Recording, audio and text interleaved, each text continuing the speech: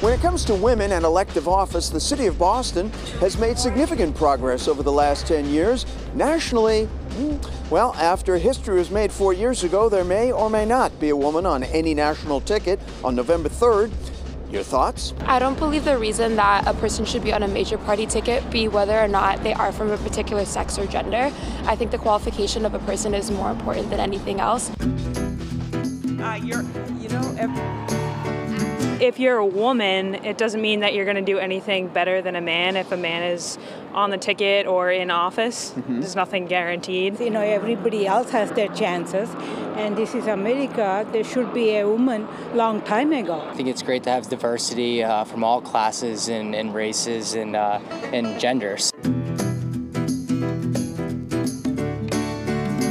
For. I'm more so looking at actually what the candidate stands for, mm-hmm. um, not necessarily their gender. It's important. It's important. Not at all. Not at all. No. Uh, competency is common to both genders. Love diversity, love to have a woman, love to have one of everybody, but I just want the best candidate.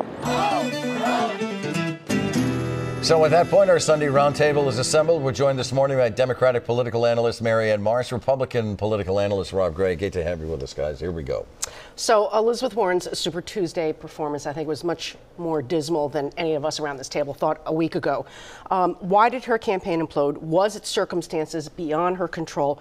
And or did she make some critical mistakes? Let's start with you, Mary Anne. I, I, think there are two elements here. One is society, and one was strategy. Society is just not ready to vote for a woman for president. We all know it. If you're a woman, you know you're a second-class citizen. But voters of color and women decided that the most important thing is to stop Donald Trump, and the person to do that was Joe Biden, based on his performance, which is in South Carolina, which is why he ran the table. His firewall became spontaneous combustion. That's how we won Super Tuesday. Second, strategically, Elizabeth Warren never went after Bernie Sanders. In fact, she didn't really do it till Saturday night, and you had to be watching C SPAN to see it, which I did. She had her best line against Bernie Sanders that night, which is for everything Bernie supports, he's never gotten it done. And everything he's opposed, he's never stopped. She needed to make that case against Bernie Sanders the way she did with Bloomberg, maybe a little gentler to keep his supporters, but she never did it. Those were the two reasons why she's not in the race and today. And C SPAN is really not exactly, you know, Again, widely right, seen by right, a lot of people. Right. Desperate people like me turn because everyone else dumped her on her speech. Did she make any critical mistakes, though, on top of everything that Mary Anne just spoke of, uh, Rob?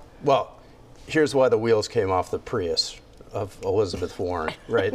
it, it, it was bad candidate skills and a bad strategy. She didn't come in uh, better than third in the first 18 states. And she just as Mary Anne said, she did. She targeted Bloomberg in a debate when she should have been targeting Bernie. There's a reason that these races aren't run on paper. That we don't just elect people based on how they poll. Everybody said she was the favorite going in, but over the course of actual elections where people went out and vote, she was not convincing enough for people to was pull the, the lever was the, for her. Was That's the, the, bottom line. Was was the third place finish in Massachusetts the straw that broke the camel's back? No, I think it's because everyone's been waiting for someone to show that they're the person who can take on Donald Trump. Joe Biden did that with his win in South Carolina. Elizabeth Warren never had that moment. She either needed a win yeah. or to accumulate enough yeah. delegates to say you can yeah. beat him. And people were saying that, right? Like they're they're saying to themselves, I can't see her up against Donald Trump in a debate in the fall, so I'm not going to vote is, for is her because I want to beat him. Is VP out of the question him. for her? Well, I, I think there are long odds. I mean, uh, certainly w- whether it's Bernie or Biden, they're going to need to balance their ticket, right. and, and she would certainly fit the bill there. But I don't think she has any leverage with, with Biden or anybody mm-hmm. else here to, mm-hmm. to make that deal. And I think there'll be somebody else mm-hmm. that they can choose to balance the ticket who's better than her.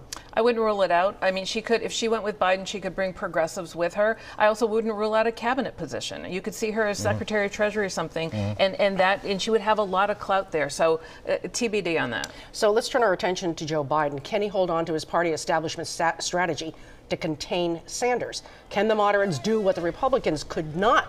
to stop Donald Trump four years ago, Rob? Well, you have to give the Biden campaign and the National Democratic Party uh, credit because they pulled off a pretty tricky maneuver uh, between uh, South Carolina and, and, Super Tuesday, where they got Buttigieg, Klobuchar, and Beto O'Rourke in Texas all to endorse Biden within 24 hours, two of them pulling out of the race.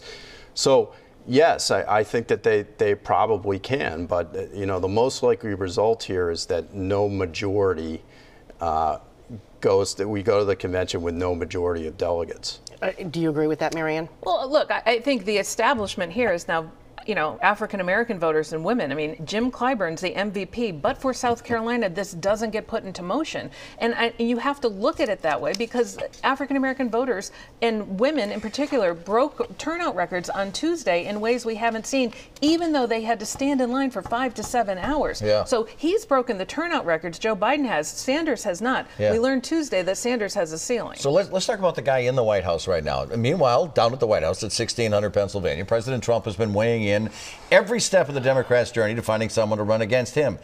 I- I'm going to ask it simply like this, Mary Anne. How happy is the president? Well, he wants chaos, but he wants Bernie Sanders more.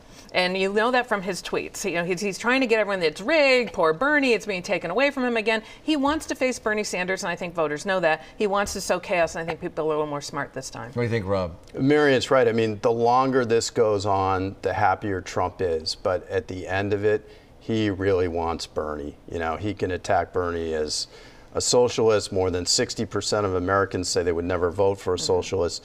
Obviously, he, he took a lot of risk going after Joe Biden with the Ukraine, and there's a reason for that. I, he fears Joe Biden. And Burisma's back. So, uh, really quickly, do you think we're going to have to wait until the end of April to find out if there's going to be a broker convention or not? Probably. No one's going to, I'm not sure anyone's going to get there.